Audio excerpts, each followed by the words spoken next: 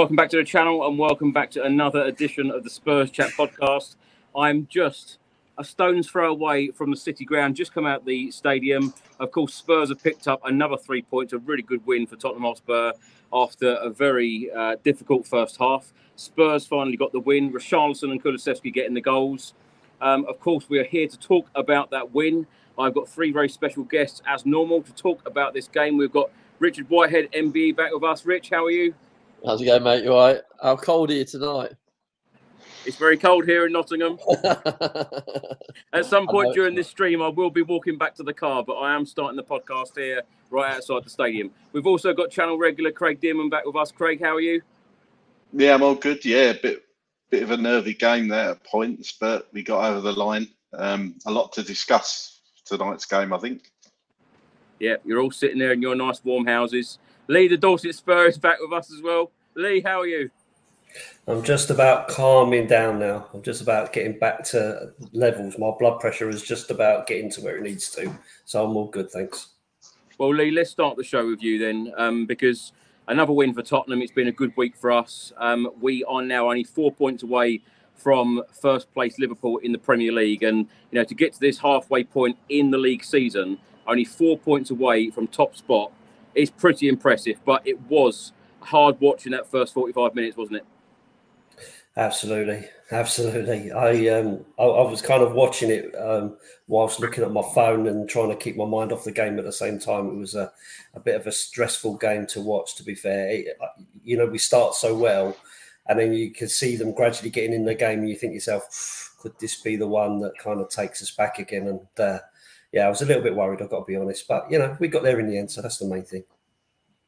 Lee, overall with the performance, um, getting the three points, you know, grinding results out sometimes, it's so important. And I tell you what, Nottingham Forest, the City Ground, that was that place. You wouldn't think that their manager is on the verge of getting sacked because all the fans this evening inside the City Ground were behind the manager. Uh, the atmosphere was electric from the home fans um, this evening, and I've got to say that every away game that I've been to this season, they quietened down the Spurs end that first 45 minutes, and it was electric, as I say. Um, but really, really important to get the three points tonight, wasn't it? Absolutely. I, you know, I, to be honest with you, watching it on the TV, you can hear the you could hear the Forest fans, and fair play to them. They were brilliant all the way through, even right towards the end. I thought they were really good, and and, and Tottenham's travelling fans are generally speaking all you can hear on the TV. Like you know, they they do follow really really well. So fair play to them. And, and to be fair, I, I, thought Forest had a good game. You know, it's a bit, I won't say harsh on them to lose the game, uh, you know, the way they did in the end, but um, they worked really, really hard. And I thought they, they made it more difficult for us and they added to the difficulties that we had in that game. I, I thought they kept us at bay an awful lot. So, you know, fair play to them for, for, for the effort they put in. So, yeah. Rich, let's come to you. This, what did you make of the game? Oh my goodness. Um, lots of lots of um, issues uh, in that first half, and um, I think just to get into that into the half time, one goal up in injury time, and then to re- recoup, re kind of look at how we're moving the ball. We're far too slow. I felt that um, the the, the players that were on the ball the most were, were our centre backs. Like Ben Davies, how many times did he have the ball? And he was, um, I just felt we were far too slow. Uh, we lost some real impetus in the game. And like you said as well, Forest have a knack of using that 12th man really well to inspire the, the players on the pitch to um, uh, empower the team to be to be better, and, and you could see it through the through the half. And we were lucky to get the the goal when we did because that that took the wind right out the the sails. And uh, for me, there was some real key moments in that game that today Spurs had the uh, run of the green. Craig, let's come to you. What did you make of it? Yeah, much the same as the boys have said. It was um, it was a funny game. You always you're always going to get a, a, tough game against Forest. We we never seem to get into our stride um, against against them, especially especially considering recent results like the FA Cup uh, game the other year. So, so yeah, we knew it was never going to be easy today. Um, like Rich said, it's a battle, battle inside. Um, crowd massively behind the managers of the team, and you say, and look, we just we just put in a fairly professional performance tonight, albeit with a ridiculous suspension, which I'm sure we'll come on to, uh, which I hope doesn't damage us. But um, we look, we, we would have gone there in, in past seasons and lost that game. So you, we, have to look at the positives tonight. That that was a that was a big win tonight, and regardless of who people think Forest are, they're they're a good side and a good battling side, especially at home. So so we should be pleased. Three points take take back to uh, the Tottenham Hotspur Stadium, which is great. But um, yeah, it just sticks in the back of your throat that that stupid sending off. But I'm sure we'll come on to it. Craig, I don't want to be too negative about the first 45 minutes because there are a lot of fans around me and playing the way that you know Postecoglou wants us to play. But at the end of the day, we've got to be, I suppose, really positive with how things have gone this season. And like I said earlier, to get to this halfway point of a Premier League season under Ange, you know, in his first six months, to be only four points away from top spot, sometimes you've got to just grind results out like tonight.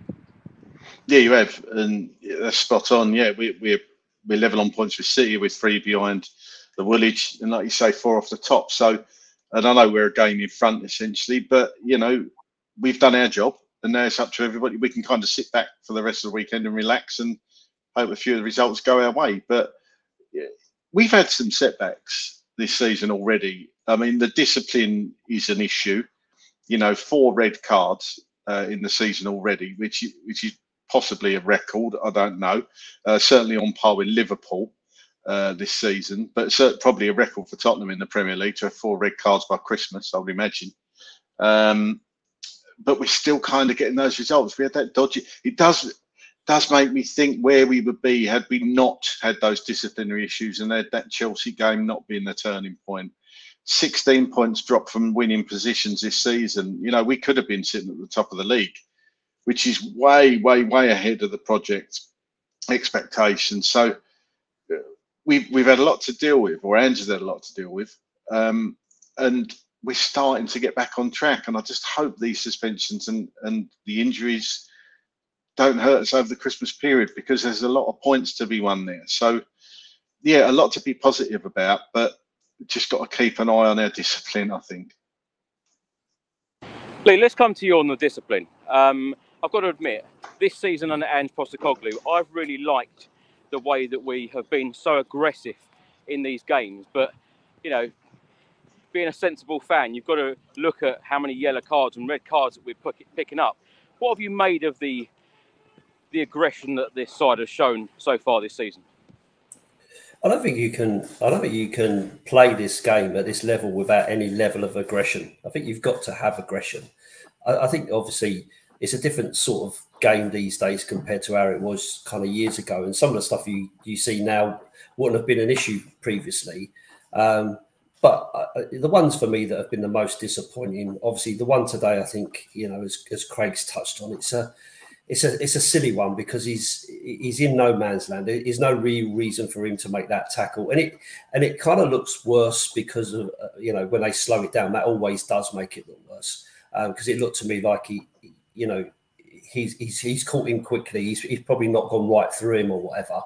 Still an absolutely red card. Don't don't get me wrong. I'm not saying it's not, but I think you know that sort of thing is just uh, that's the annoyance. I don't mind if a player's really going for it you know 50 50 trying to get the ball blah blah blah i, understand that but but when you're in that position like he like Bissouma was today, I think you know that's that's just a silly one. I mean, the other one for me, that the the yellow card that Udogie got for for a shoulder barge. I, again, I was perplexed with that. I'm like, how mm. how is that a yellow card? Because you know, I've, I've, you see a few of them. Was it Yates, the the, the other kid, name, who uh, was throwing himself all over the place and, and, and some quite strong tackles in there. And I, again, I've got nothing wrong with no, nothing against that. Um, but if one's a yellow card, then I can't see where where the other one gets away with it. So, you know, it's it's a strange one. I, I don't mind the aggression. I just think you've got to be a bit careful because otherwise, someone like certainly someone like um, um, uh, defender. Davies. Romero. Romero. Romero, bloody hell. Someone like Romero is going to get a name for himself, and he's got to be really, really careful that he doesn't just get picked out. He's already You got that name. He's already got it. Yeah, I, I know, but you, you you know what I mean. Like he got away with one. He got away with one um, recently, didn't he? And and I think you know he's got to be so careful because a 50-50, um, it- he's going to go more against him because of, of of you know he's built that that reputation for himself. You know, it was like today, that- wasn't it? He- he- There was a close one today where they where they were kind of going, "Oh, damn, that's a difficult one." But and I thought, not really. He kind of towboat the ball away, and the, the he barely touched the player. I think he got a yellow card for it, and I'm like, you know, come on. But if that had been a different player, he probably wouldn't have got booked even. So Thing is, Lee, I thought I, I honestly thought the Bissouma one was a red card at the time Mm. because I, as soon as he, he, he- I think he took a heavy touch, and I, th- I saw it. You just know what's coming, and you think he's off. I, I it, it, it's- it was just stupidity, and just knew it was going to happen. That was it. Was so avoidable as well. You know, Yeah. just staying your ground. What I'd say, I'm sure we'll come on to it, but I thought Ben Davies was absolutely outstanding again tonight, and he just shows that you haven't got to go in like that to win the ball.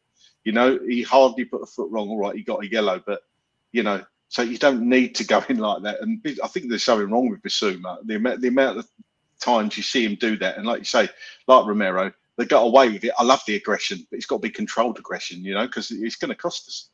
yeah, and just coming back on that Ben Davies one, the guy didn't put a foot wrong, and he got booked for putting his arm out. Yeah, yeah. you know, and that's my point about some of these bookings. You think, really, is it, it, it- does that really deserve right. a booking? So you know, Rich, that is exactly where I was going to go. Uh, Lee and uh, Craig have, have mentioned Ben Davies there because he is a player that has been criticised by Spurs fans for a long, long time now. And whenever he seems to come in, he does the job. And I think that he's done a fantastic job coming in under Ange Postecoglou. But there were a couple of players tonight that I think is worth mentioning. Um, Kulusevski, uh, Vicario in goal, Ben Davies. I thought the three of them were excellent. Who was your man of the match?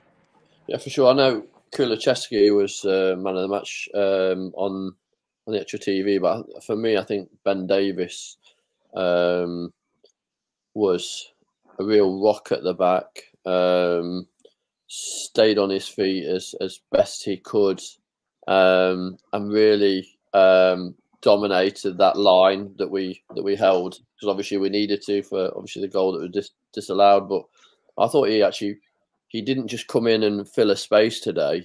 Um, he did really well and he's really grown into that role. Uh, and that's the real impressive thing. You, you, you listen to Anjan um, and what he's saying around Ben Davies's role in the team and how he's been really impressed impressed by how he's applied himself to that role. Um, and as we know within within the game of football, it's about partnerships, and he's he's really developed that partnership with Romero. And uh, for me, that's really important. That's really important. If if we, don't have those partnerships uh, throughout the pitch, we will really struggle in, the home stadium because we will really struggle. Oh, can you hear me? Me twice. I think I think sounded twice. Chris. Two Chris's. I, I Um, think I think Ben Davies was outstanding. Like I say, though, Rich, like I just said. I mean, he was. He, he is an unsung hero these last few games, but he's come in and done such a good job, hasn't he? He's just just been brilliant. for sure, and, and obviously that that side of uh, the, the defence is something that is, is something that if, if you're left left sure, side of and- defending, Obviously, that, that side of uh, the, the defence. Mm. Chris, you might want to mute your phones at the moment. Okay. Just it looks like it's been stopped by the police. uploading. Live, live, live, live streams. This is this is this is, this is what it's all about. That's it. He's in Nottingham. is in trouble. Yeah. That's it. What All over four police. four G not very good up there, Rich. That's it. That's it. No, I think um, just going back to what I said about uh, Ben Davies and obviously that left-footed uh, defender. Um, yeah, yeah. For me, I think uh, he obviously did really well. Um, we're we're going to really this ill discipline that obviously you guys talked about before is going to catch us up in in the future because not only obviously the suspensions through the red cards, but the accumulation of yellow cards that we will have throughout the team, and obviously today with Udogie, uh, and then obviously other players like Romero that are close to a suspension as well. That that would wo- really worry me in the coming weeks, um, especially as we've got quite a few games coming up over that Christmas period, and uh, we want to have some momentum now moving forward. Yeah, absolutely. Rich, let's stay with you because Anne said only a couple of weeks ago in one of his pressers that if we can get through December and be in a good position, you never know what's going to happen. And, you know, he said in yesterday's presser, he's not aiming for fifth. He's obviously aiming for the top four. Do you think we're going to get there? wait a minute, wait a minute. I I I, uh, I visualise that this question might come up at some point. Listen, um, the manager obviously is going to say that there's there's a possibility of winning all these games, especially through the December period, um, and then obviously we're hoping for the investment in January and uh, getting some of those key players back from injury and now from suspension. Um, for me, obviously the sky's the limit with the team. We're we're playing very well in certain games. We obviously grinded out a result today, which is really important, like you said, Chris. And um, we need to back the manager, and that's that. That's what we all want. We want obviously the board to back the manager in January, uh, the the fans to be beh- behind the the philosophy of the the manager moving forwards, and together we're going to be stronger. And uh, I think that's that's why when you go to the home matches now, it's like a nightclub and everybody's in there enjoying themselves and enjoying the party and, and how we're playing. It's infectious, right? So why can't we dream to be higher up the league? Well, it's like a nightclub at the Tottenham Hotspur Stadium, but it's pretty quiet in Nottingham uh, this season, Rich. I've got to say. So when was Um, the last time you went to a nightclub, Chris? When was the last time? Not long ago, actually. Was there? Was there? Is there a story there or what? That's a, that's another. Craig, let's come to you. Um, God, you completely put me off my track now. yeah, that's it. Come on, there must be a story. Tell us that story. Um, Craig, to be in this position in the Premier League table, just said about the process. Um, we've got the January transfer window coming up, of course. Uh, Richarlison scored again this evening. So many positives, and as you said, and as we've spoken a lot off air uh, between us, that you know some of those defeats, I think all of us fans can know and realise why we lost those games because of the injuries that we've had. How far do you think Ange Postecoglou can take this team this season? I, I personally think top four is uh, achievable, and as you say, Richarlison's now scoring goals. He's unbelievably got more goals than Luis Diaz this season. Fernandez, um, couple of other players that you would expect to see up the list. So he, he's he's ticking on. He's ticking on and getting the goals. Um, I think we can finish top four. I think it's achievable. I think I don't think we can rely on that fifth place going down to the Champions League after Newcastle and Manchester United went out. The the coefficient um, we we dropped out of that automatic second um, country that gets the the extra place at the moment. I think um, Spain went ahead of us. So, uh, but that all depends on how the teams do um, across all European competitions. So let's hope all our English teams go very far and deep into the competition.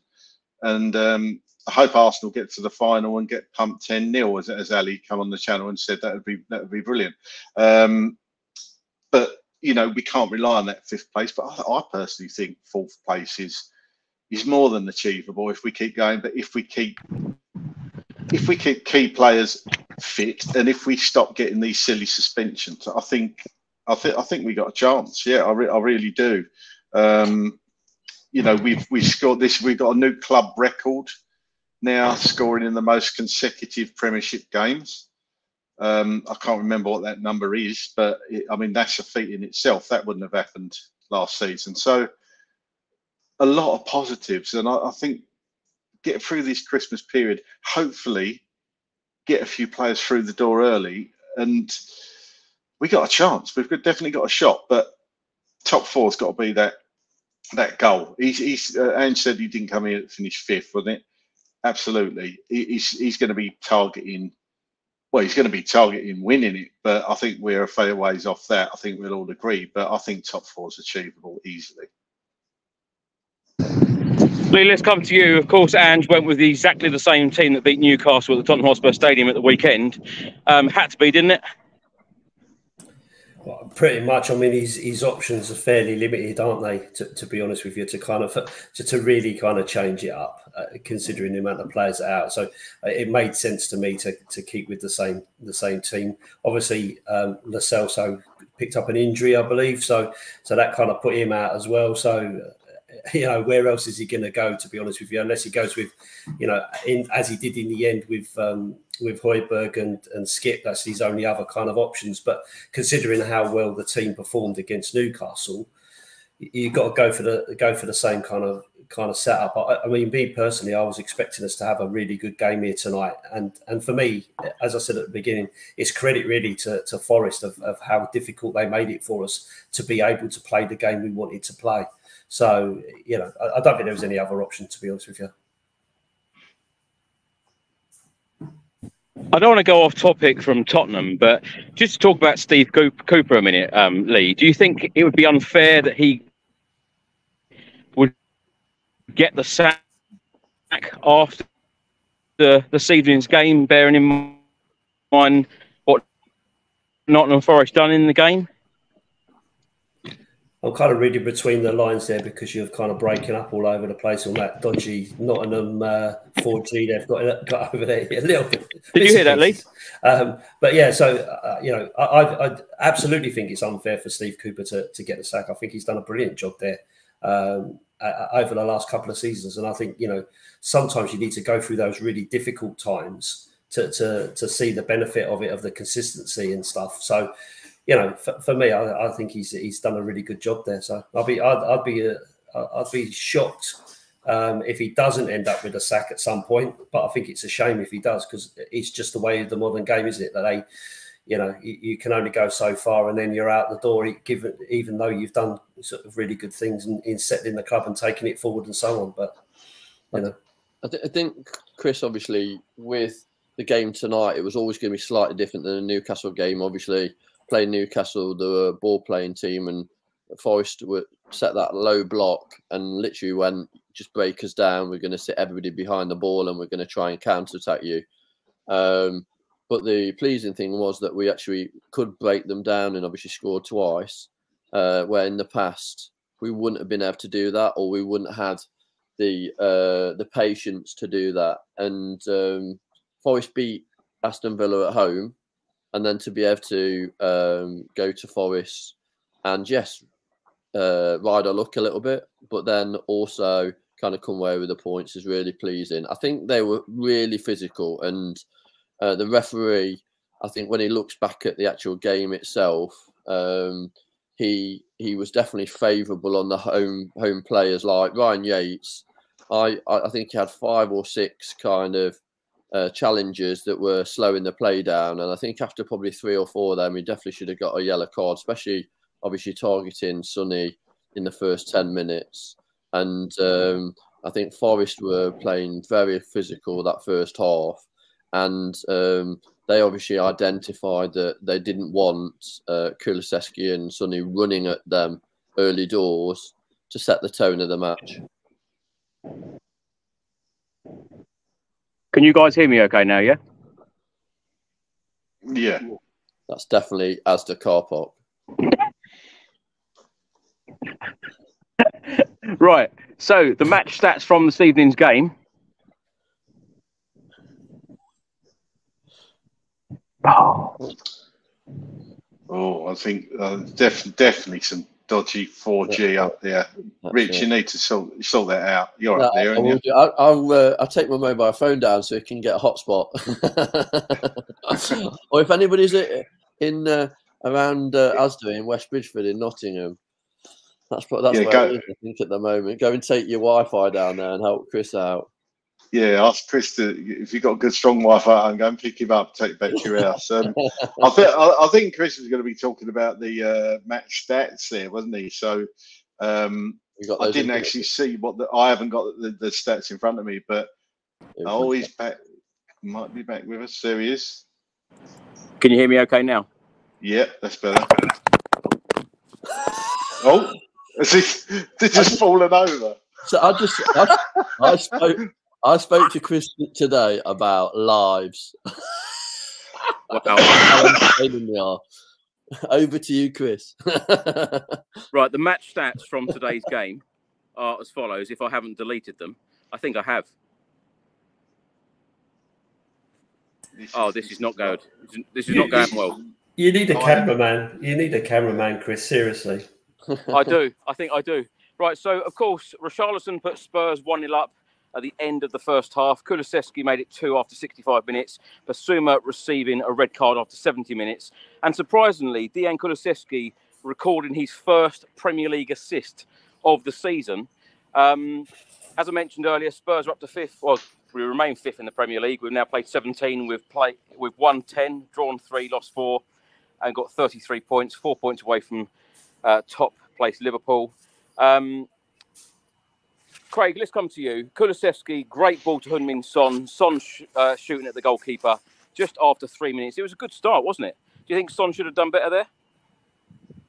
Yeah, yeah. I kind of expected him to, to tuck that away. We've been used to seeing that so often. To be honest, I think his touch took him just a little bit uh, too far inside and too far back, and it was kind of under his feet, and it was a, more of a scuffed shot, whereas normally he'd curl that into the far corner. But you expect Sonny to be finishing that, but um, it just wasn't his day today. But um, just just touching on Kulusevski there, he's he's run the furthest of any Premier League player all season, which is, which is incredible. Um, his work rate is just unbelievable. Um, you, are actually upright now, Chris. I thought you'd gone over again there, but yeah, I'm laughing. At, yeah. I'm laughing at a lot of these comments. I tell you, yeah, I've had a nightmare. But Spurs have won, so I don't care. Um, Lee, let's come to you. I don't want to be negative on this stream, but in that first half, the amount of times we give away the ball, and it just seemed like we weren't playing under Ange Postecoglou in that first 45 minutes. The amount of time, Romero, Bissouma, I could name Too others, slow. but but those two, it just seemed that they give the ball away multiple times. Yeah, I think you're right. I, I, it was quite it was quite frustrating actually because we have, we have been starting off really really well and keeping the ball and some of the passing certainly against Newcastle. I, I said on on a video that I made that that I sat there and I literally went, "Wow, that, that's just unbelievable." And today that wasn't happening, and there was a lot of stray balls going about as well. You know, Sarr was another one who who kind of the, the, it felt like they were passing blindly, especially around the back. It kind of felt a little bit like really inco- uh, you know not not good uh, between them. They, they, there was no fluidity in there at all. I'm not sure why that was. I, I don't know whether it was because, as I said, that Forest were a little bit more. Um, you know, in our faces and kind of, of, pushing us back. And I wonder whether that kind of rattled them a little bit, um, and they couldn't get the couldn't get the momentum that they wanted. So I don't think it's negative. I don't think it's negative to point it out because because it was a little bit sloppy, um, and it's not something that we we really want to see. And we're not really used to it so early in a game. It's something that tends to creep in as as as legs get a bit tired and concentration dips a little bit, rather than rather than at the start of the game where we're kind of all over and really pushing to to get on top.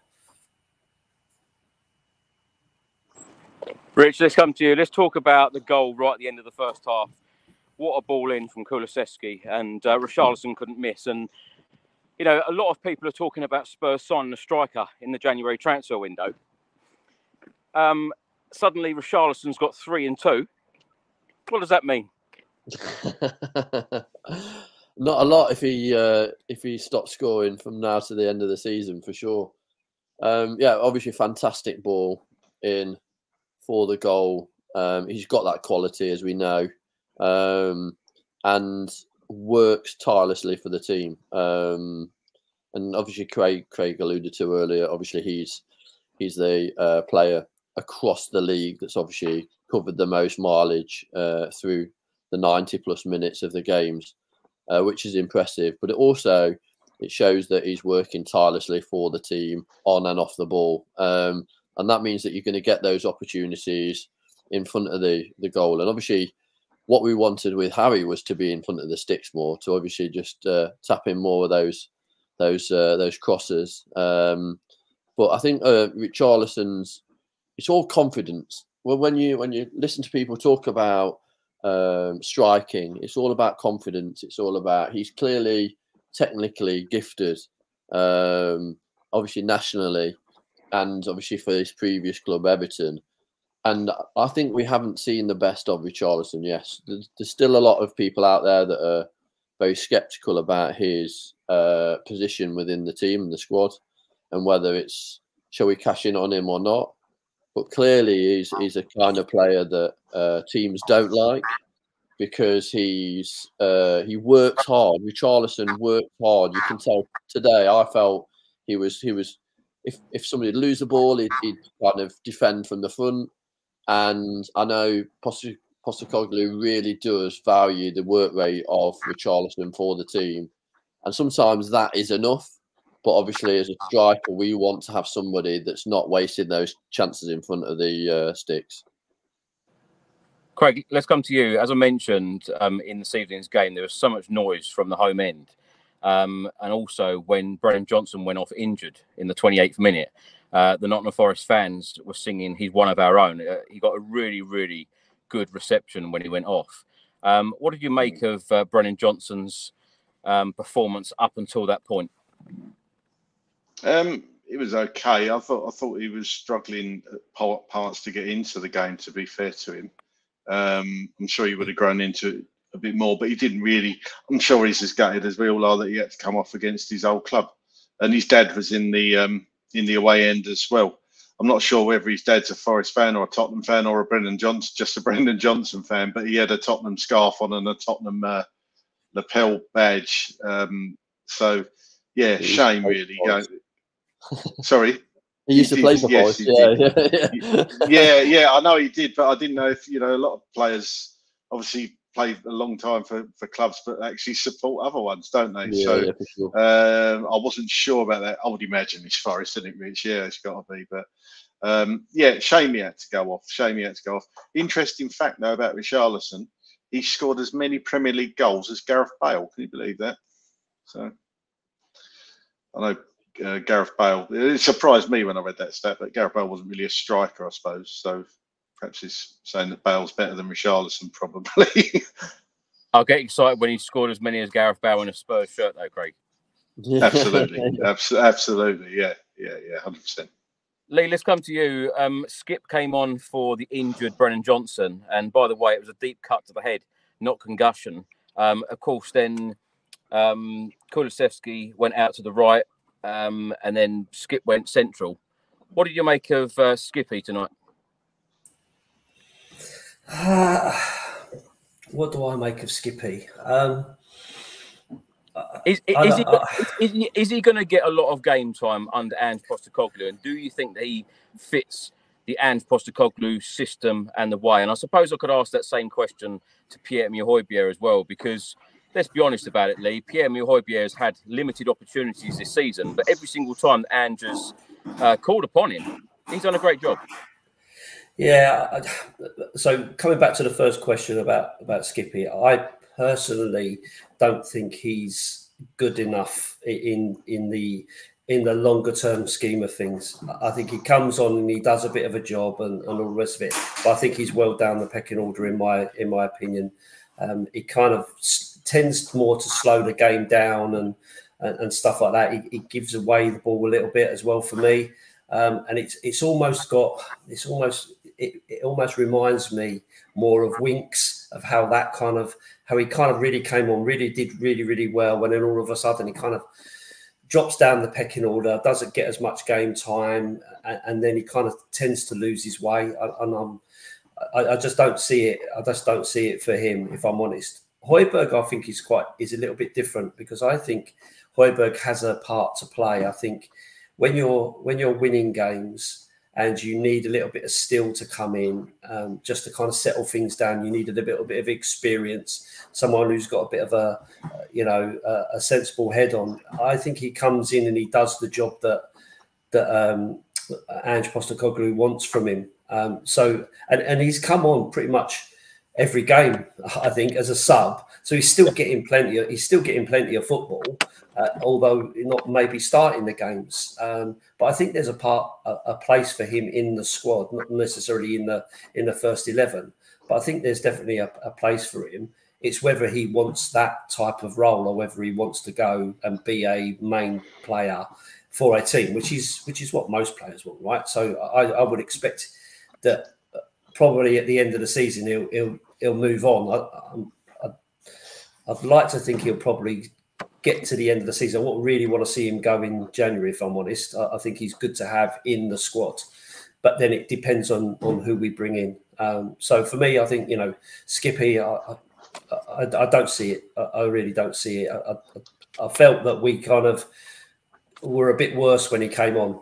You know, from losing losing Brennan Johnson, um, and I know that it's a change of the, the shape of the team and so on. But um, for me, he kind of lost his way. But Højbjerg, I think, has a part to play, uh, certainly in the squad. There was a good chance for Pedro Porro from a Heung-min Son cross in the 35th minute. Um, and then Spurs gave the ball away. Gibbs White shot over the bar. Udogie got the yellow card, as you've already mentioned. And then, of course, Richarlison put us 1 0 up um, just before the half time break. Rich, going in at the half time break, um, there are a number of Spurs fans not very happy with that 45 minutes. What do you think Ange Postecoglou would have said to the Spurs team at halftime? I think I've just reinforced what they were doing in the previous games, um, and and how they weren't they weren't really playing as a team. Um, very slow. I felt the amount of times the the sideways balls that were slow, and even because of the speed of moving that the ball, there was not a lot of movement so the opportunities to break the lines was very limited because of how they were how they were actually moving the ball. And we we're so used to that kind of one touch, one touch football. And it, we definitely came away from that in that first half. I think the manager would have gone into um, the half time break quite relieved that we were able to pinch that that goal um, and actually thankful that we'd taken that opportunity. Um, and then to get the, the players back in the dressing room and then just to reinforce some of those messages, especially for the one of the one or two of the players that have maybe just lost the way a little bit. And I think um, the central midfield wasn't at its, at its best today. And I actually feel that the likes of Højbjerg and Skip will get a lot of uh, playing time because of suspensions and injuries. I think you look at Sarr for four yellows. Um, obviously, with the suspension from today's game, I think you'll find that both of them will get playing time over the coming weeks. Craig, let's come to you. I want to go back to uh, talk about Richarlison because, of course, he's got three goals in his last two games now. Um, he's had his injury problems. Andrew's even come out and said that you know he's had injury problems and you know he's felt he's felt it. He's really felt it. He's come back, had surgery, do you think finally this is going to be the time when we see the best of Richarlison and he will be banging them in virtually every week? I hope so. Um, I, I don't know uh, if I'm if I'm brutally honest, but he does look like he's running freer. Um, that header today was a proper centre forwards finish. That Sonny wouldn't have been able to do that. For all his brilliant attributes, Sonny's just not the best header of the ball. So I love having a a proper number nine in the number nine position because that, that was an outstanding header tonight. He could have got easily got clattered by the goalkeeper. He had defenders around him, and he was brave and, and he and he put the ball in the back of the net. So uh, he's he's capable of it. He's shown tonight he's capable of it, and he, Richarlison's work rate is he's brilliant. I have to say, closing down, um, relentless pressing uh, tackling from the front, and it's exactly what Ange needs and Ange wants. So, um, can he do it? Possibly. I think. I think he could. He could certainly. When you when you when you're a striker, you do thrive on confidence, like's been said, and you know he, has got he's got three goals now in, in a week, and it's um, you know confidence breeds confidence, and, it, and he'll feel like a million dollars now. He's got those goals, so so I, I just really hope he can. But that doesn't mean to say I don't think we still need another centre forward or a forward-thinking player in, in, in, the transfer window. I think I still think we yeah. do because Richarlison's never been prolific. The most goals he scored in a Premiership season is 13. So, you know, that's not prolific, prolific enough for me. But if he's got somebody to push him and he keeps keeps injury free and he keeps going with this form, there's no absolutely no reason what why he can't. Lee, are you fully behind Richie? Um, I, I, agree with Craig. To, to be honest with you, I, I think he's had some. He's, he's had a lot of issues. So we, I really want to see that out of the way. You know, he's had the, the mental health issues with family members or, or friends or whatever. Then he's had this injury. He's had his he's had his surgery, and you can't ask more from him than to score in uh, three goals in the in the three games. Is it three games? I think he's been back, although it was only sort of five minutes for one of them. So he scored three goals in three games. You can't ask for more than that, really. You know, three goals in two starts. So that's what you want from your striker. So I've always been for the underdog. I always want to see the underdog really do well. I want to see them really, really get somewhere. So, you know, my heart's in it for him. Um, but I, I, agree, again, I agree with Craig. I think we do need somebody else um, to, to, back that up. I'm, I'm, not sure about the young lad whether whether he, how much time he's going to get and what he's like in training. Whether he's whether he's going to be able to to kind of fill some of that some of that in and, and get some goals himself. So I think we probably need someone else just to just to kind of keep Richie on his toes, I guess. Lee, let's stay with you because in the 58th minute, Nottingham Forest thought that they'd equalised, making it 1 1 with Elanga scoring. It went to VAR. It took a couple of minutes. Everyone in the stadium uh, didn't really know what was happening. And right at the end, um, VAR decision came up. Um, it was offside. And then when we saw the picture with about three or four players offside, why did it take so long?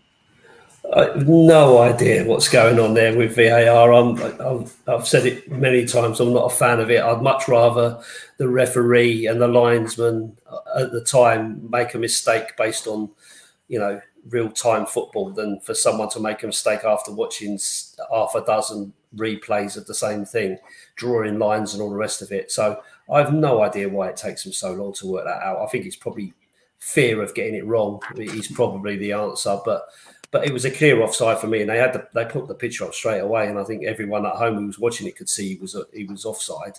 So it, it's a strange one for me, but I, I know what it is. It's dodgy Wi-Fi. That's what it is, Chris. yeah, probably. I'm, I'm, still here. It's just that the lights have gone off. that's that's it. That's as they closed at eleven in Nottingham. Oh wow! What what a nightmare I've had on this podcast. you want to get to a nightclub, Chris? You want to get back to a nightclub, nightclub and dance around your handbag. I was just about to say, um, Pedro Porro had a shot blocked, Heung-min Son had a shot blocked, and then uh, Kulusevski put the ball in the net for uh, to make it two. Rich, what did you make of the second goal? Yeah, obviously power, uh, but I think uh, you could see that coming. You could see how dangerous we were um, on the break, and when you've got the quality up front that we have, you're always going to be a threat. And obviously, it was on uh, Kulusevski's weaker foot, and he just put his foot through it. And I think if I know the, the goalkeeper's going to get a bit of criticism because it was literally straight at him, but I think he hit it so hard, and any kind of movement from that ball would have just took it past him anyway.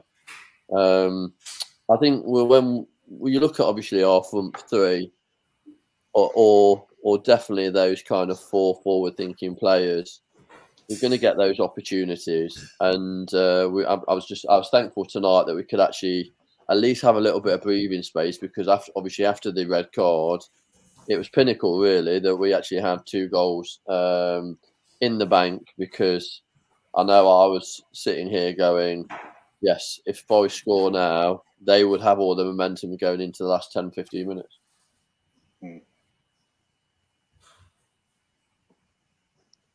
How's it going, Chris? You all right?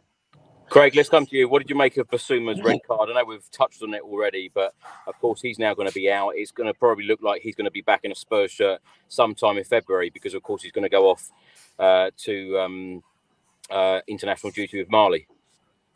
Yeah, uh, just just lunacy again. I just like I said earlier, you could see it coming. Soon as that was that heavy touch, he, he was. You could see what he was going to do in that tackle, and for me, it was a red card. Um, interestingly, like Lee says, being a fan of VAR, I'm not sure if I am or I'm not. I think I, I, I think it definitely needs work. I mean, personally, with things like offsides, I think it needs to be automated and let the referee know on his watch or or in his ear li- literally instantly. You can't tell with all the technology in the world they can't do that. So I think that needs to be refined. But something like that, that you know, it was a red card. Obviously, given the yellow in the first instance, but looking at it, it was a bad tackle. So he's fully deserved. The thing is, he misses Everton, Brighton, Bournemouth, and he would miss Burnley as well in the FA Cup. Um, but what, as you what, say, he's prob- mm-hmm. probably going to be off by then anyway, so we won't see him till February. So what I don't understand is obviously the consistency, though. Obviously, if he's if he's sending sending him off, then why didn't uh, Murillo get a second yeah. yellow for that tackle? Uh, and he just warned the player. I don't get what how, how why why would you warn a player instead of actually saying, well, that was actually warrant of a, a yellow card, and he should have had a yellow card and then that would have been 10 men each. Yeah, well, that's um, not VAR though, is it? That's just the, the officiating on the pitch. It's I get what you mean though. I mean, that, that, but, yeah, but none of it's yeah, none of it's actually VAR, is it? Like the reality is, none of it's VAR. None of it's not the system that's the problem. It's the inconsistency of the yeah. people looking at it and the sure. referees. Yeah, totally. And people, and people make totally. mistakes, right? So that's why I'm saying it, the referee on the in the match is seeing things at full full pelt, makes a decision, you can kind of go, oh, right, okay, he's, he's, he's seen what he's seen it. When someone's sitting in a room with dodgy Wi-Fi next to Asda's in Nottingham, and they and they can't get it right, like watching it ten times, you think to yourself, well, how can you make a mistake? Because we can yeah. see it, and I'm sat at home here in Poole, yeah. next to me piano there, yeah. and uh, and I can and I can I can see I, I, I can see it's a mile offside or it's a red card or whatever. So it's the inconsistency of the people applying yeah. the, the, the, rules or making a decision yeah. around it. Uh, and the problem is, all people will see things differently. So if everyone mm. sees it differently, you're always going to have their mistakes, and that's the mm. problem with it. You, you're never gonna you're never gonna take that out unless you have the same person watching every single game. yeah, but even then, even mm. then, yeah, yeah, even then, people get. Can I just come back just while I think of it? can somebody tell me what Vicario was doing in the first half when when it was actually handball and the guy? What was he doing? When he punched he, it he did that. I don't. He did that a few times. He didn't punch it. He pushed it. He flat. He flattened yeah. it basically. Yeah. yeah. he did that, but he did that a couple of times in the match today. Bizarre. Which I was like, yeah. is, why is he doing that? Yeah. Crazy. Anyway, I'm, I'm, looking forward to you playing the piano actually, Lee, right at the end of the show. So uh, tell us what you're going to play. Um, yeah. Rich, let's come to you. Um, in the 71st minute, of course, after that sending off, Richarlison went off, Højbjerg come on. Uh, and in the 79th minute, Heung-min Son received the yellow card. He took one for the team because Nottingham Forest were on the counter attack. I'll tell you yeah. what, this is what I have noticed differently about Heung-min Son because Sonny wouldn't have done things like that, you know, in recent seasons. And I think that Ange has, has really instilled this um, aggress- aggressive side to a lot of the players, including the leader, Heung-min Son. For sure for sure. And obviously, if you're the club captain, then you're leading from the front clearly. Um, and that was a, a, crucial time in the game um, that um, that could have obviously changed the outcome of the game, the, the result. And um, I think Sonny was at that stage like playing on fumes as well. Really, he um, he was clearly knackered, and when he when he came off, you could you could tell he'd given everything. And I think yeah. that's the difference, isn't it? You know, when you see Sonny at the end of the game, like the the West Ham game, he was like sitting on the on the bench, like crying because he'd given everything, knowing that we shouldn't have been on the losing side. Uh, and that, yes, that is definitely um, the difference. Yes, there's still some frustration around. Sometimes he should pass, but I think generally he's doing stuff for more for the team and for for the team moving forward. So really building confidence in players such as uh, Richarlison. We wouldn't have got that second goal. Sorry, Chris. We wouldn't have got that second goal if it wasn't for Sonny, right? Yeah. Because he he closed the keeper That's down, forced a forced a mistake, and when he was running at him from nowhere, to Yeah. force that error uh, uh, to, to play the ball to Kulusevski to, to to get that goal. So without him doing that, we wouldn't have had that second goal.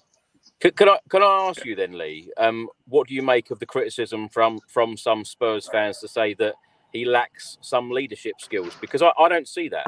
I think that he's been a fantastic leader this season.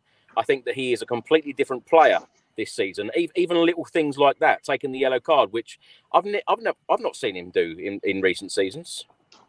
No, absolutely. And I, I, I'm not sure who would be able to criticise him in terms of his leadership. I, I mean, when when they first appointed him as the captain, I was like, "What, really, son?" Um, Why? Why? Well, I, I- just just because I didn't consider him as that sort of outgoing leader type person, but since he's got that role, you can see the difference in him. You can see him leading, you, and you can see the other players listening to what he's saying and taking on board what he's saying. You, you can see him geeing them up. You can see him t- talking to the players and telling them what he wants and leading from the front and doing the things like you said, taking a yellow card, chasing down the goalkeeper, uh, and putting in that putting in that effort. And I, and I think you've seen that change of him. So, like for me, the, at the beginning of the season, I, I didn't think. I thought it seemed an odd, an odd one, but actually, he's shown me that that I was totally wrong. Now, I think he's, I think he's a very good captain. I think he does all the right things. Rich, let's come to you in the 81st minute. Um, Turner made a good save from Kulusevski's shot. It looked like he was going to go right in the bottom corner. Um, in the 84th minute, a good uh, break from Nottingham Forest, but they shot wide. A good save from Vicario on the line in the 84th minute. Um, what have you made of Vicario this season? Well, well, I think obviously the, his critics initially um, became plaudits after a couple of games, and I think he's he's obviously a very young keeper that's obviously very highly thought of. Um, gives us a lot more variety from the ball from the back, and I know from having Lloris uh, in in between the sticks with no ability at his feet at all to having the keeper now that can actually come out, close down, uh, play with his feet. Very consistent with that. Obviously, he's good in the air as well. Good shot stopper. Very instinctive with his uh, with his saves as well. Like that save on the line today was incredible. That was looking like a, a, certain goal from Toffolo. Um, yeah, really impressed. Obviously, definitely the right decision to go with him. Um, and he, I'm sure he's a player that, um, with more games and more performances like that, he's going to uh, gain more confidence moving forwards. Another clean sheet as well. Do you know what I really noticed tonight? Um, when there was a break in play, uh, Vicario went over to Ben Davies and um, Christian Romero a number of times. Um, he was even arguing with Christian Romero at one point in the game because he wasn't happy with what the other one was doing. Um, I love seeing that. And I tell you what, Yeah. I've probably seen Vicario communicate with the defenders more times than I've ever seen Hugo Lloris in all the years that we've watched Hugo Lloris play for Spurs because he seemed to be a very quiet character on the pitch. But Vicario is very loud. He wants to constantly communicate with the defence, which is great to see. Um, I have now got the uh, match stats. Um, Nottingham Forest had 33% of the ball to Tottenham, 67%. Nottingham Forest had 15 shots to Tottenham's 12. Forest only had one shot on target to Tottenham's six. Corners, Forest six, Spurs four, and fouls, Forest 16 to Tottenham's 11. Um, Craig, let's come to you because uh, Heung-min Son went off. Emerson Royal came on in the 88th minute. Forest had another chance, went wide. The ball then went up. We had eight minutes to play. Um, I hate the term Spursy, you know that. But at that point, were you ever nervous to think that Forest might come into this game and Spurs would throw it away? I've got to ask that question because I think there are a number of Spurs fans inside the stadium thinking that. I, th- I, th- I think, if we're honest, I think everybody will be thinking that because we're so kind of used to it. But is Um, going to we've seen it. change this attitude? You would, yeah. I mean, what I would say on that, Forest were very poor in front of goal this Yeah. evening. They they did have better chances. So so in reality, I wasn't as worried as I would have been had that been against perhaps a Manchester City or, or, or a Liverpool or something like that. But um, I mean, you would hope Ange is, is installing that in us a little bit, little bit of more steel. I mean, he did obviously make that defensive substitution towards the end, which I was quite pleased about.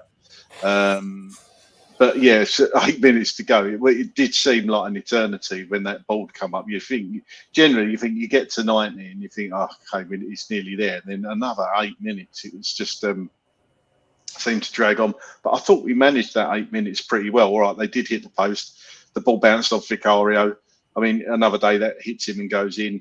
Yeah. The save he made was simply outstanding on that. And it was a save. It, it, his legs were in there and he kicked it away. It was, didn't just hit him. Um, he made some cracking saves. So um, we look, we fully deserved that victory tonight. But you know, and, and just and we're still going to go through tough times over the next few weeks because of the suspensions and the injuries. It, uh, I'd love to see Ange with a full strength squad for a couple of weeks. You know, where he's playing his like like we had at the beginning of the season, but with a couple of additions off the off, off the bench in the transfer window that can change the game. I mean, if you look at it, Udogie misses um, the Everton game now, so we're gonna we're gonna be having probably Porro, Romero, Davies, and, and I'm guessing Emerson Royal at left back. Um, and then obviously in the middle, you're to have Højbjerg, perhaps, and Sarr, uh, and then Kulusevski in the 10 role. So, it, you know, and it obviously depends on Brennan Johnson. I think they said on the telly it went down as a concussion substitution.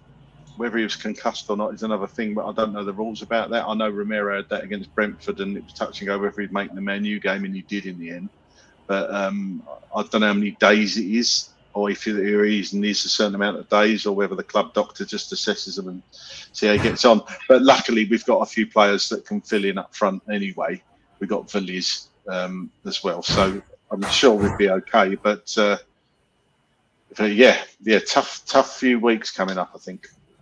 Yeah, Ange Postecoglou in his press conference has just confirmed that Brennan Johnson will be okay. He said he should be okay. He got a nasty cut on his head. Nothing that should keep him out. No concussion, just a cut on his head. Um, there was a good move, Lee, in the um, in stoppage time. Kulusevski, Højbjerg, and uh, Pedro Porro, who shot over the bar. It was a, it was a good move, though. Yeah, I, I, thought you know, you know, going just going back to this Spursy thing because I hate hate that as well. But he's, he's in the dark there again. Um, I hate that term as well. But I, I did in my pre-match um, chat, I did say you know this we're hoping that Doctor Tottenham doesn't come back and, and all the rest of it. So I um, I saw the eight minutes go up and I thought, oh, here we go. You know, and I was sweating it a little bit. As I said right at the very start, I was a bit, you know, my blood pressure had to kind of go up. Um, but yeah, I um, towards the end, we kept we we actually created some chances, which was which was really good to see, to be honest with you, because uh, in previous times we'd have tried to to just sit deep and and hold on, hold on, and hold on, and, and try and just get away with it.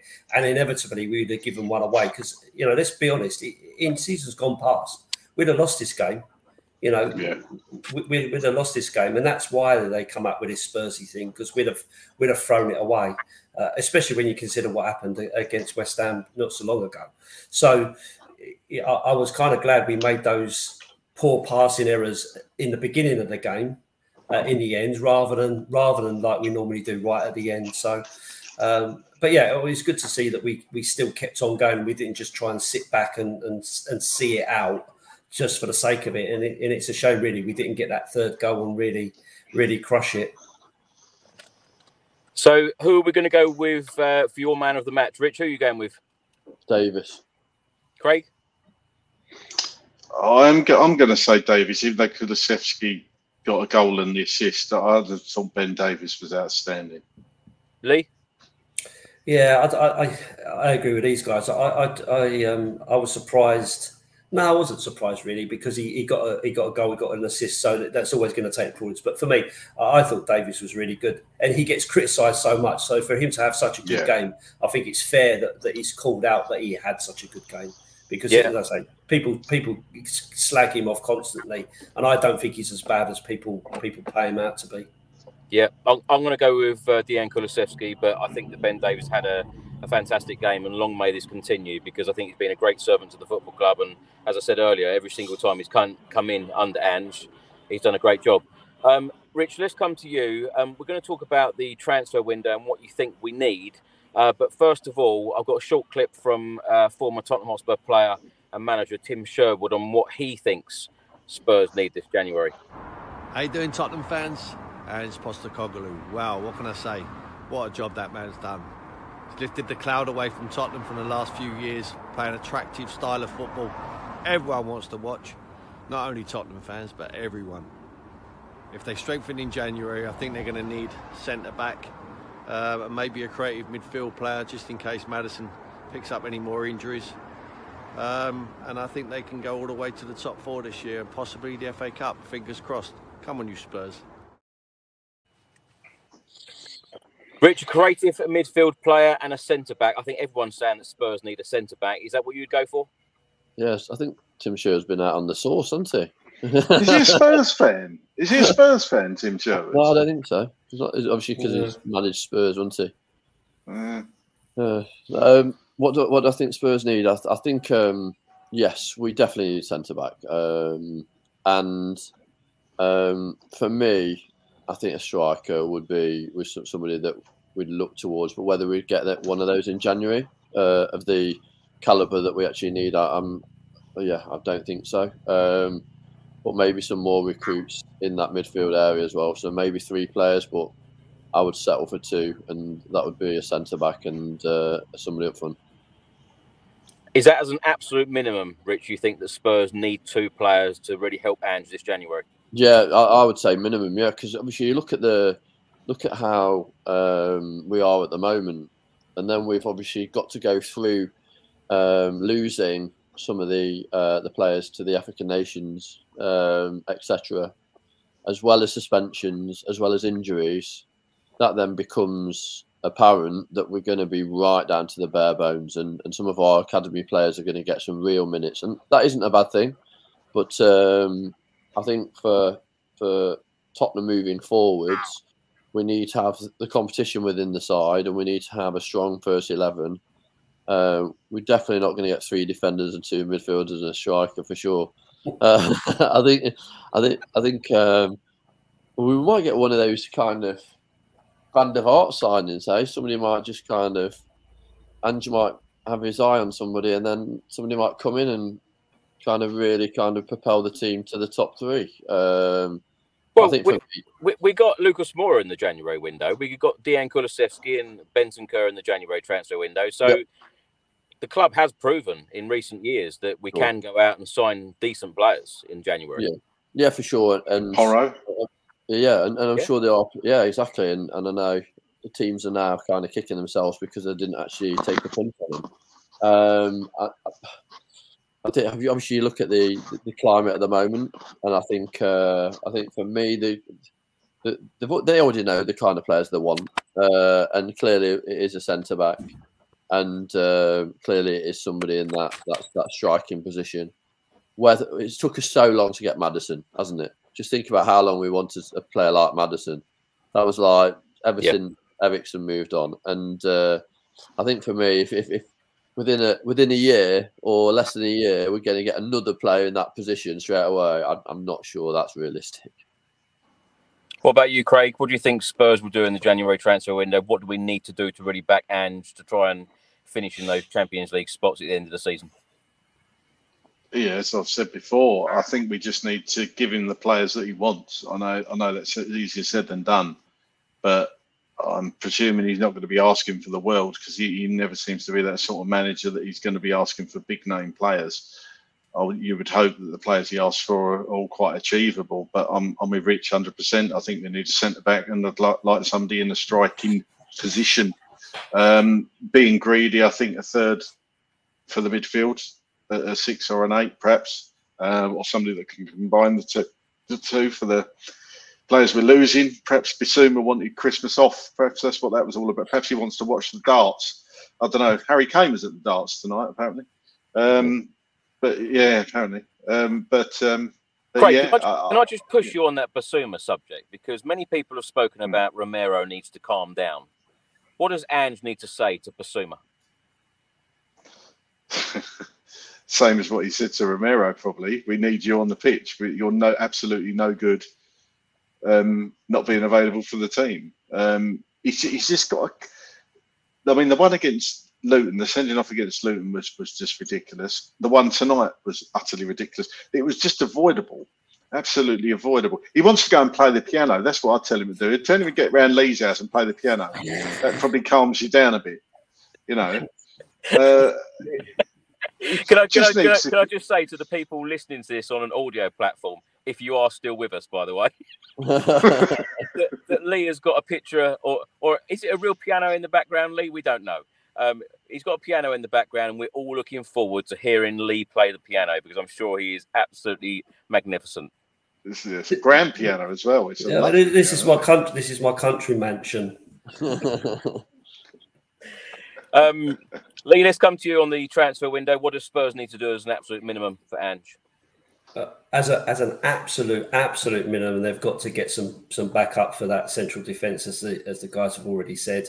Um, I, as I, as I've already said with, with Davies, I think Davies has done really really well and, and come in, but you've got to have another backup in case something happens to Romero or he gets another another red card or something of that nature, right? So so you've got to have someone who can who can play with play with Davies or play with Romero or play with Van der Ven. So, that's an absolute bare minimum. Um, I also I'm also a little bit worried about the about the left back situation in, terms of you know we're going with Udogie week in week out because he's fantastic, but but now he's not available. We're playing a right back in a left back position, and that worries me uh, slightly. So I would like to see someone in there because I'm not convinced about Sessegnon, and obviously Perisic is is long gone uh, at the moment. So that's another position that I think we should be should be trying to strengthen. Um, with regards to the Maddison situation, we have got Lo Celso um, and we have got Bentancur who who can, and we've obviously seen Kulusevski's been able to kind of do quite well in those that position. So that there is opportunities around that. So I think they'll be probably be less likely to to focus on that, um, depending on what's happening with with uh, Gio. Um, and and as Craig said, I think it would be great to have a have a a striking option.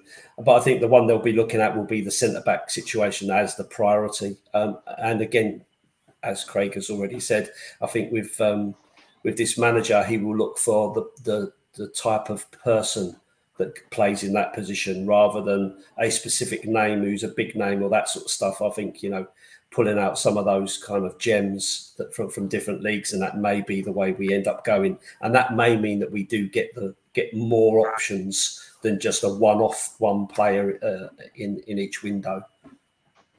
Do any one of you think that any players will leave Spurs in the January transfer window? Because when you take in into consideration all of the injury problems and now suspensions that we've got, I think it'd be quite surprising if anyone would leave, wouldn't it, Rich?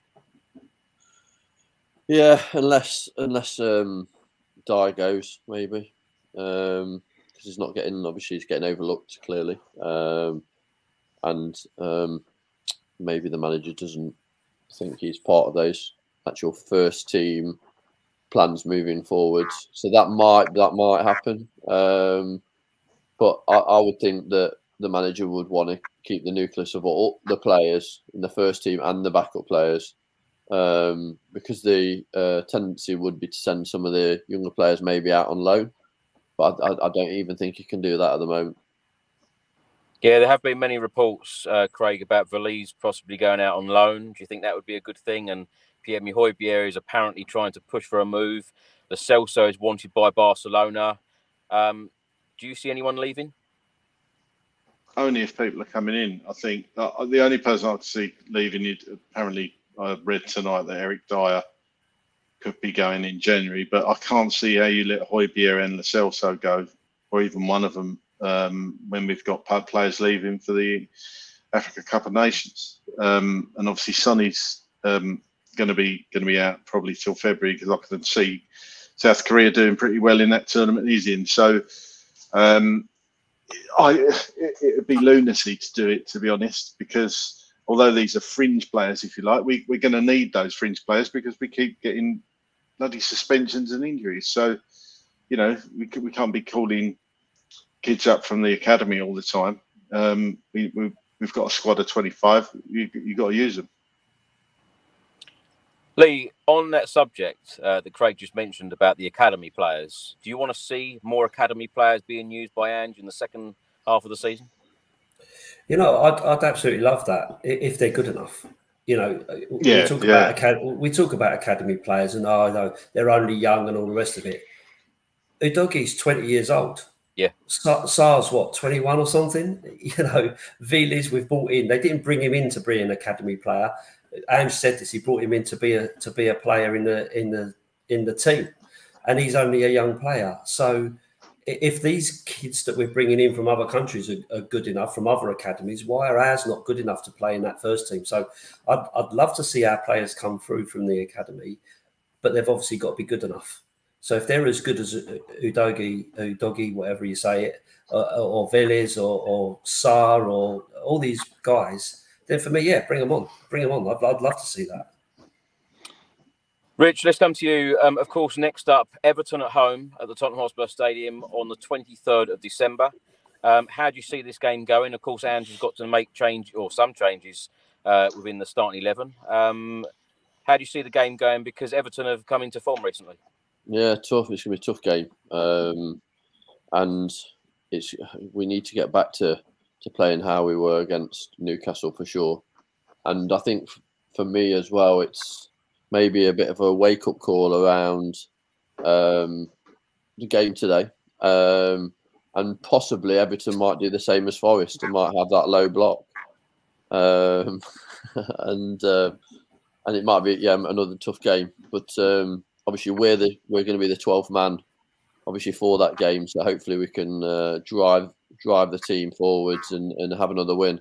I think we've got momentum as well. Momentum in sport is is really key for success. Yeah. um, and with momentum you build confidence. And um, and then all of those kind of all of those routines all those training things that you're putting into place day in and day out all of a sudden come together Hence the reason why, like Richarlison's not just scored once and then and then not scored again. He scored a couple and now he scored another one today. So those kind of positive behaviours are really starting to get ingrained, which is really positive. And um, that's what that's why I, I'd be really positive about another result against Everton. But it's definitely going to be a more difficult game than it would have been four or five weeks ago. Yeah, I completely agree Rich. It is going to be a difficult game. Of course, there's no easy games in the Premier League, but I have a lot of confidence in this Tottenham team. No matter which, which players and picks, I think that everyone's given their absolute all at the moment, and I, I expect another win. And hopefully, it'll be that party atmosphere at the Tottenham Hotspur Stadium again two days before Christmas. Um, Lee, what is it about you when you come on this podcast? The amount of people who say you look like other people. People are now saying you look like Ange Postecoglou. I don't know what they're talking about, mate. I, I don't know. I've got one of them faces. You either want to punch it or, or make out it's someone else. I don't know. Lee, what are you expecting from the Everton game next week? Uh, I think, as Richard said, I think it's going to be a really tough game. If I'm honest, I no game's easy in the Premier League. We know that, but Everton are just going into this real uh, purple patch.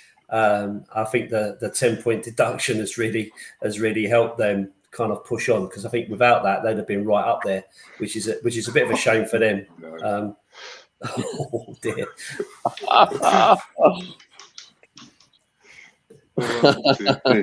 Billy Mitchell. Actually, I can see that Billy Mitchell. That's that's actually not a bad shout, Billy Mitchell. At least would have been worth Peggy Mitchell, wouldn't it? That would have been Do you know, I. I, I don't give all the viewers enough credit for some of these messages sometimes. That's So it. thank you for putting a big smile on my face. Um, Yeah. Craig, People still watch TV as well, by the way. I'm like, I thought it was all YouTube now and stuff. It's like we must have that older audience tonight. Craig, Everton game next week. How you feeling ahead of it?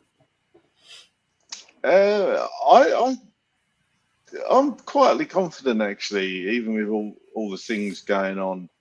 Uh, Pep, I'll take that. Um, uh, to be honest, um, we haven't got a bad record against Everton, especially at home. So, so I, I'm I, I'm quietly confident that we're going to get a result there. To be honest, it would be lovely to finish before Christmas in the top four, wouldn't it? Um, not sure that's going to happen, but um, you just never know.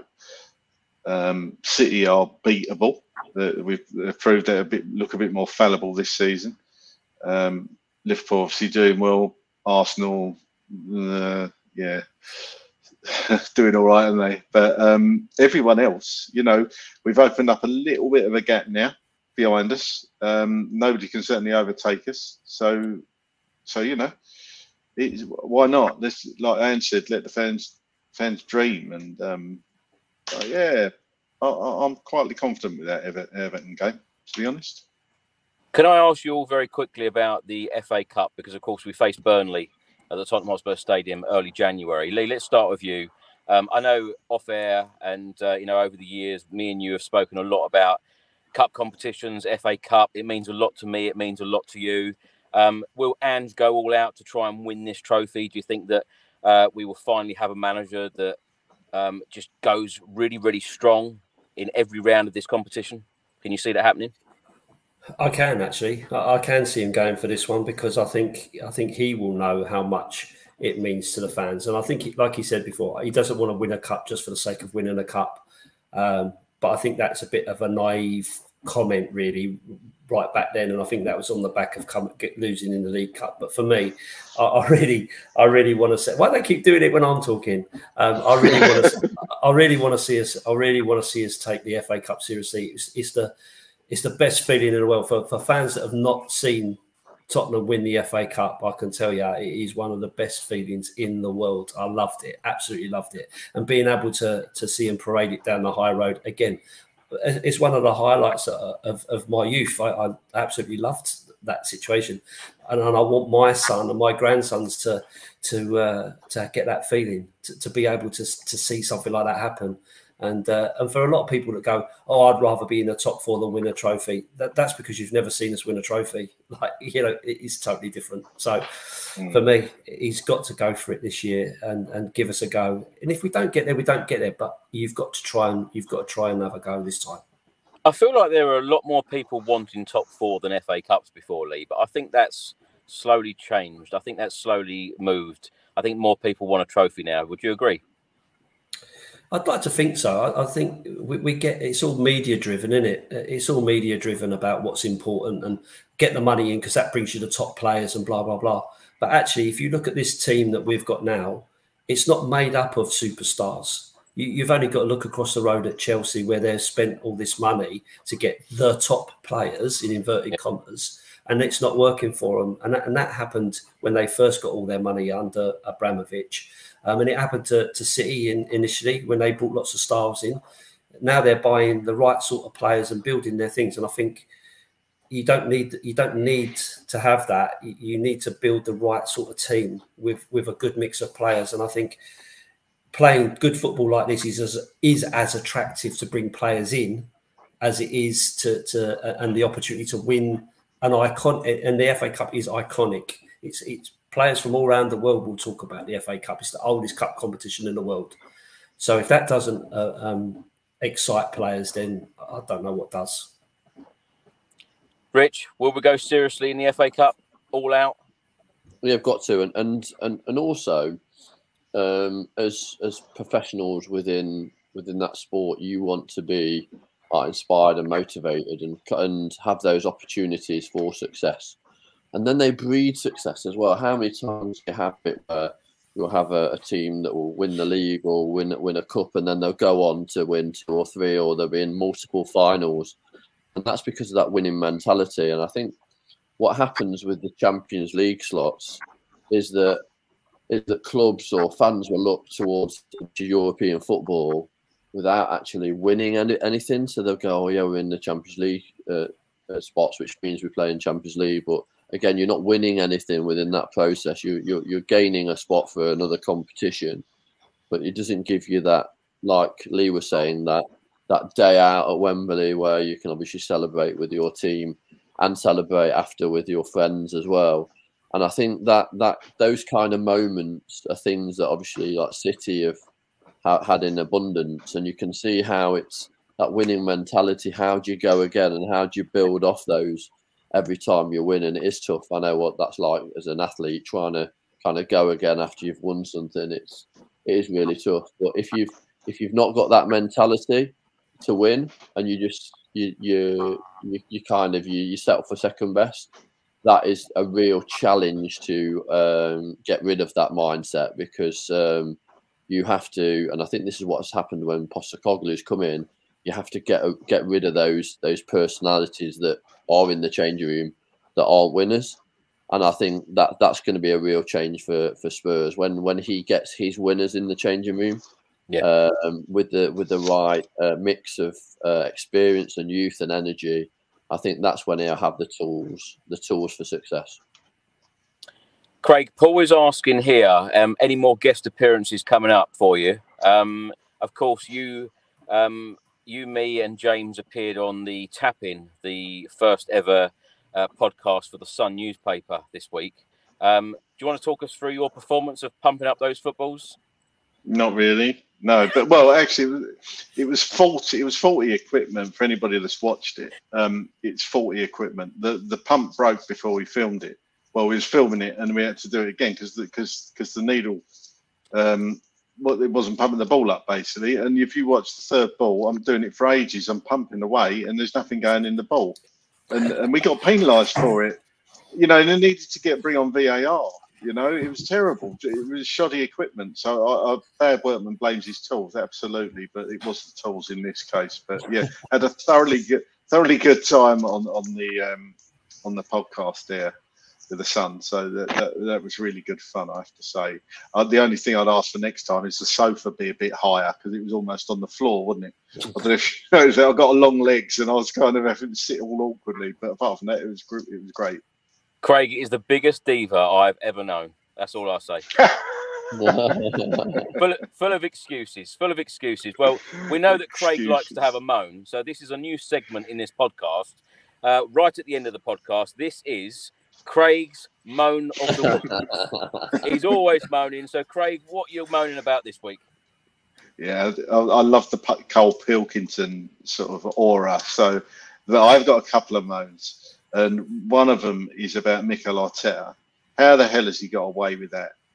You know, you know this inquiry into the, his comments after the game. You know, I have no idea. Someone wants to put in the comments what they think about Arteta and the way he spoke, I'm sure you've all seen it. How the hell has he not been punished? And my second moan is actually about Tottenham. Uh, well, I was trying to book tickets for that Burnley FA Cup game that's stupidly on a Friday night. Um, but I was trying to book tickets 10 o'clock as soon as they went on sale for members.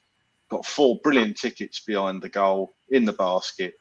Went to pay, and it timed out within 30 seconds. Couldn't even approve it in the banking. Then went back on the website to book four more and it wouldn't let me do it. I tried for about an hour. Every time it said, "We're not letting you book them. We're not letting you book them." I don't know what happened, but eventually I managed to get four booked behind the goal in the north stand, right next to the away fans. So I got the tickets, but Spurs. You got the tickets. So, so what are you moaning about? Because I think I had brilliant seats, Chris. I had the ones I wanted. You know, I had the ones we wanted in exactly the right position, and it was a Spurs bloody website that again let me down especially when you're trying to use it on a phone. I tried it on a PC, I tried it on my phone, always the same. Oh, it's unbelievable. I know it's popular, but Christ, put the put the technology in place so people can book seats because they were just disappearing all around me. It wasn't just me, honestly. It, it was the Spurs website. If anybody else had issues, you know what I'm talking about, or perhaps it was just me. But yeah, Spurs sold it out. That's my moan of the week. Lee, have you got anything to moan about this week? No, mate. My, my life is uh, is brilliant. can tell by your house. yes. To be fair, to be fair, this I was going to play you a tune, but this piano does need desperately needs tuning, so I'm not gonna I'm not gonna tinkle the ivories tonight because i it won't sound as good as I'd like it to. Rich, you got, nothing, you got nothing to moan about this week, Rich, have you? No, two wins. Two wins. Yeah, two yeah, two wins. Um, yeah, no, happy days. That's it. I think all uh, Spurs fans, including Craig, should have a have a, a pint and a smile this weekend. You can, watch, you can watch match of the day on Saturday with a smile, knowing that business is already done. All right. Exactly. Yes, everyone should have a great weekend. Uh, Rich, lovely to see you earlier. Um, what are you up to at the moment? Where can people find you? And uh, I suppose you're training very, very hard again. Yeah, they can't find me anywhere. That's why I've got that big gate. I tell you, mate. That's it. that big gate in front of my house. Stay away. No, so I'm yeah, I'm training hard at the moment for marathons next year. Um, so deep in training, so that's why I'm always looking knackered. Um, but um, yeah, so Tokyo, Boston, London uh, before before June. So yeah, busy start of the year. but yeah, just uh, yeah, working hard and obviously trying to see every game that I can, and hopefully down at the stadium over that Christmas period as well, supporting the boys because it does really make a difference. Like everybody says, like the Spurs fans have been incredible this season. Yeah. And I've been the last couple of seasons where the atmosphere has not been great. Under Mourinho, even under the Conte, it hasn't been great. But now, like like the boys know, it's been a nightclub. It's been like the the atmosphere has been incredible, and also the away fans at the away games. Like Chris is every time is very complimentary about everybody that goes to games. That really does uh, give the boys the support they need because uh, without the fans, it definitely wouldn't be the same. So well done everybody for going to the games and and and singing the hearts out for sure. Well, Rich, lovely to have you back on, and uh, have a great Christmas. And uh, Craig, thanks so much for coming on again. Um, pleasure to have you here. Where can people find you? What are you up to at the moment? When's your next TV appearance? God knows, God knows. Uh, at Demon9 on X, if you want to follow me, that'd be great. Um, so uh, somebody in the comments really made laugh. He said, "Even Big Angie get a tune out of that piano." well, that was very good. And somebody else that looked like Chiellini, that guy who's just retired from Juventus. I've been told that many times. So, so yeah, but at least he's retired now. I might not. He might just fade away into the background, and people won't remind me how much I look like. And, but uh, yeah, always a pleasure to come on. Uh, I think I'm on again after Everton, so uh, let's hope for another win. Lee, thanks so much for coming back on, and uh, tell everyone about your wonderful channel, how it's growing, and what they can expect from it. Yeah, cheers, uh, cheers, Chris. I know it's, it's been great to be on. I know it's been a while. We've been trying to organise to be able to get on again. Um, work's keeping me keeping me really busy, so um, can't get as, as, much as I want to. But um, I've really enjoyed it tonight. it's, it's been good. Uh, yeah, I, have got my own channel uh, for anyone who sees it. Lee The Dorset Spur. It's basically me moaning and and groaning about different bits and pieces. Generally speaking, um, I, I, did have a little bit of a break for it because social media was getting me down, but um, I'm back now. Um, I'm putting out a video probably once or twice a week. So if you want to check it out, that'd be good. I'm, I'm, I'm just uh, I'm a little bit less than than Chris. Uh, you know, I haven't got a hundred thousand plus. I've, I've, I've got one thousand. So you know, I'm a little bit behind him in the in the stakes, but you know, I'm, I'm plodding on. I don't know I just, how. Can I can I just say something, Chris? Sorry, Tom said I look like Jason Statham. I thought I'll have that, and then somebody commented, and I thought Jason Statham ain't got a nose that big. Oh, Jason Statham has a small nose. Ah. that's brilliant. I love that. I, I, was going to say, after my performance on this podcast, how the hell has this channel got over 100,000 subscribers? I have no idea. See, Lee, if I can do it, you can do it, mate. I don't know you've got a hundred thousand even that shoddy camera work. To be honest with you, I think I think Craig holds it together most of the time. To be fair, so it should be, it should be Craig's podcast. yeah, but I, I, to be to be fair, I'm, I'm, I'm sitting in a nice warm house on a laptop normally when I do it, and Chris Chris is going to all these locations trying to get a Wi-Fi signal. So uh, it's, uh, it's it's hard, isn't it? Sometimes. Yeah, a genuine apology for the uh, really dodgy stream today.